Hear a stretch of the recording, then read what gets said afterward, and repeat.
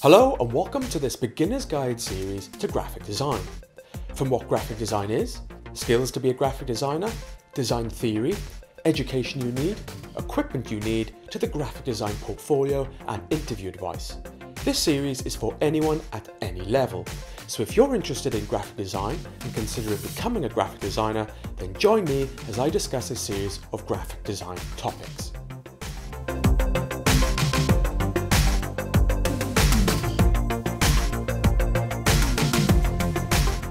So the graphic part of graphic design is made up of visual elements, the building blocks of design. Through the harness of our artistic expression, we choose these visual elements and arrange them on a surface in a layout to convey an idea. The basic visual elements that combine to create graphic design include the following line, colour, shape, texture, space, form, and typography. Whatever work you produce, be it for a magazine, a poster, a website, or advertisement, these visual elements will play a part in your design. In this video, I'm going to discuss the second key visual and discuss colour as a visual element in graphic design. In this video, I will be referring to some visual diagrams. If you wish to follow along, you can download the PDF document that accompanies this series. Link is in the description. So colour plays one of the biggest roles in graphic design. It can give emphasis, it can be used as a mechanism of organisation, it can create impact and create a specific look and feel in a piece of graphic design work. When working with colour, it helps to have a good knowledge of colour theory. Colour theory provides us with practical guidance to help us mix colours and create interesting colour combinations. And it all starts with the colour wheel. The colour wheel is a really useful tool designed to help us choose colours that work well together. So this year is the red, yellow, blue color model, which consists of 12 colors. Now, if we jump onto the Adobe Color website, we can see this color wheel as more of a spectrum. This is an amazing resource to explore and create color schemes. The address for this website is color.adobe.com. I'll be referring to this website later in this episode, but for now, to help explain color theory, I'll use this simple example. If you want to take a closer look at this color wheel and the spectrum, you can find them in the downloadable PDF. Link is in the description. So the color wheel consists of primary colors, secondary colors, and tertiary colors, and these can be split into warm and cool colors. So let's take a look at each of these. So first is primary colors. Primary colors make up the basis for the color wheel. Here they are red, yellow, and blue. Next are the secondary colours. Secondary colours are made by mixing equal portions of the primary colours.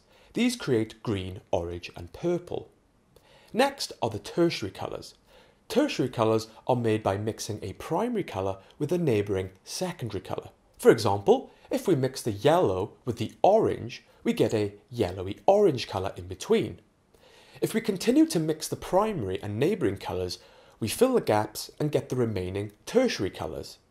Now if we separate the colour wheel, we get two categories, warm and cool colours. On the right we have the warm colours.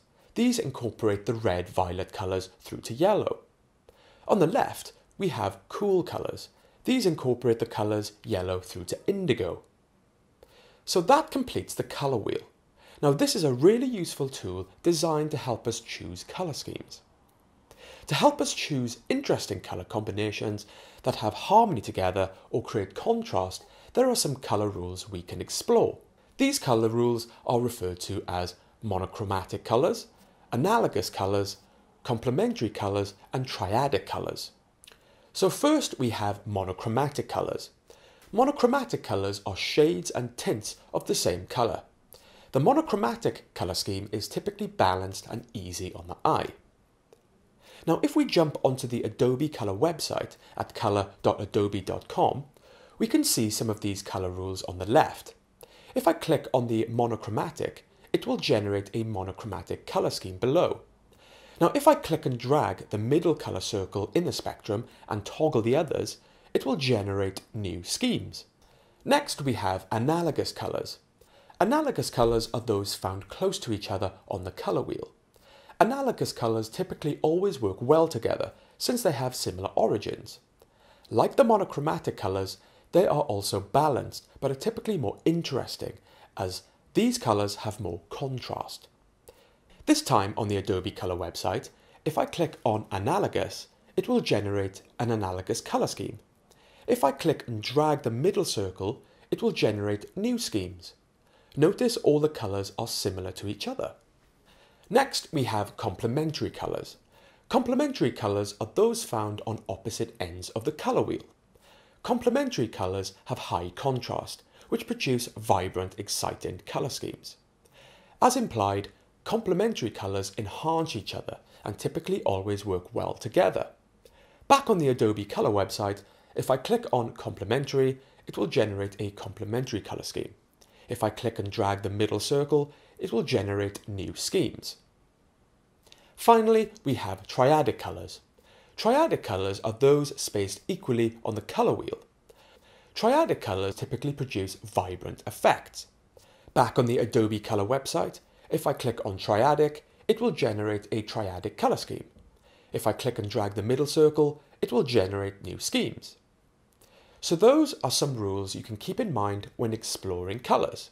So that is the second key visual element in graphic design. Well, I hope you enjoyed this video. If you did, hit the like button on my Facebook page. If you would like to see more videos like this in future, hit the subscribe button. And you can also follow me on Twitter at TastyTuts.